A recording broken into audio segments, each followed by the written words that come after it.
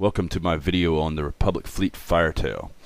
In this video we're going to be talking about uh, some of the reasons why the Firetail is a good ship, why this fit's not the fit you're supposed to use, and uh, we're going to be looking at a, a fun fight I had.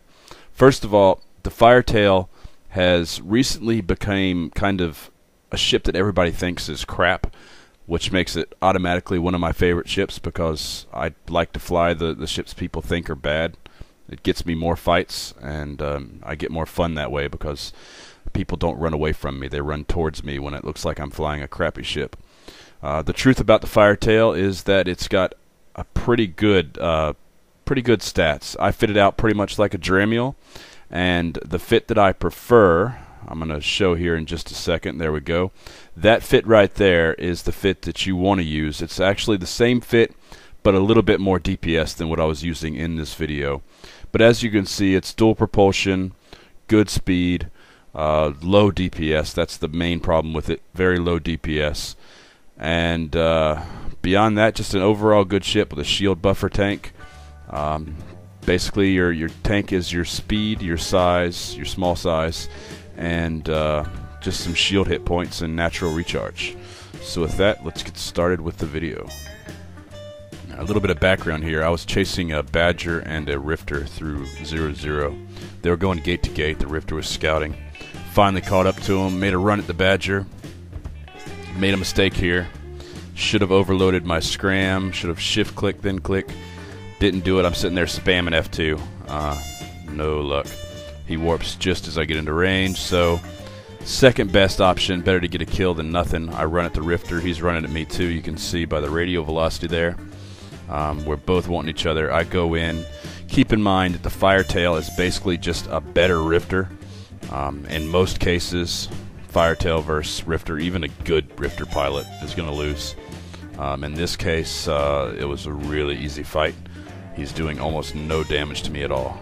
I'm not really sure what he's trying to do, but there's the Manticore. Um, while we got a second while this Rifter dies, this is a really easy fight. This isn't the point of the video. But uh, I just want to say that in PvP, you make mistakes.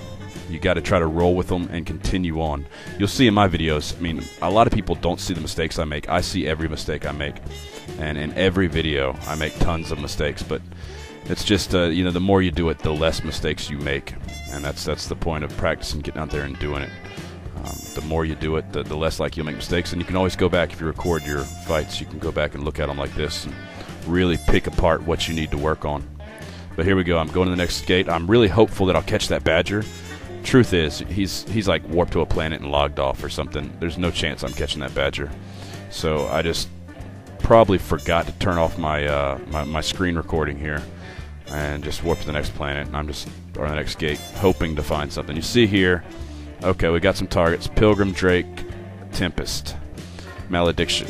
Now, obviously, in the Firetail, you're dual propulsion. Uh, you're basically an interceptor with your speed.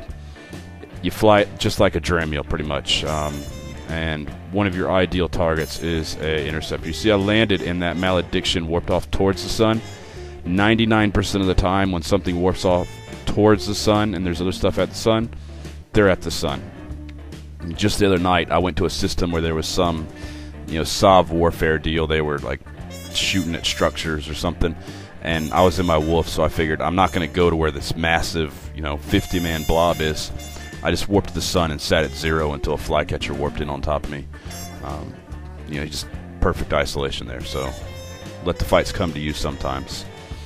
Uh, same thing. Sometimes you can sit in a belt at zero and you know just wait for them. Anyway, so here I'm chasing. I warped to 50 on the on the sun, so I'd have some distance. I didn't want to land on top of them. What do you know? They warped to 52. So here I am, right on top of him. I don't want to be on top of him because of that Drake. The Drake's going to probably web me, and I don't want to be webbed. So I immediately hit keep at range 100 to try to shoot out away from him, but the Malediction gets a quick scram and turns off my micro warp drive. That means I'm forced to engage here. I don't have the choice to, to isolate. So I'm turning in. I, am going to approach, uh, get that point on the Malediction, make sure he doesn't run away. DPS overloaded. Got to drop the Malediction as fast as possible. That Drake and Malediction are both going to be putting DPS on me my uh, my little shield buffer tank is not meant to handle this much DPS. Uh, so this is a bad fight for me. This is bad. You see, I'm starting to align out. I'm selecting something away from the Drake So if I start to align, I align away from the Drake and not through the Drake. I want to maximize my range from him because he's got me webbed and the only way I'm escaping this fight is if I can get out of that web. You see my mistake here. For a second there I was hitting approach with my afterburner on on the malediction. Big mistake. I need to be orbiting. I need to keep up my velocity as much as possible to reduce the damage from missiles. The faster you are, uh, the less damage you'll take from missiles. That's why I overloaded the afterburner, but it took me a second to get the speed up. You see the Cerb's in now, and he's going to start putting DPS on me. Malediction's down, so right now I'm just wanting to get out of there. I managed to drop the malediction, so now my micro warp drive works. This is where dual prop comes in. Overloaded cycle on the micro warp drive gets a lot of distance. It gets me away from that web, so I broke out of the web range. I'm away from the web now, so I get another cycle of micro warp drive, and now I just got to hope that I last long enough to get away from this 24k point range. I do. I warp 43% structure left. So you see right there, that's a that's a classic escape with a, a dual prop, and I didn't even execute it all that great. Um, but still, you see you switch between the, the micro warp drive and the afterburner based on, on what's the most advantageous. If I was trying to reduce damage in that situation, I would have had my afterburner on. But in that situation, I just needed to get out as fast as possible because there was way too much on the field with the Cerb and the Drake, and I think the Pilgrim was landing right as I warped out or something. There was just way too much there for me to have any chance of winning that fight. So my main goal was to get out of point range and warp off. Hey, if you like this video, then you'll love my Frigate Pro PvP guide.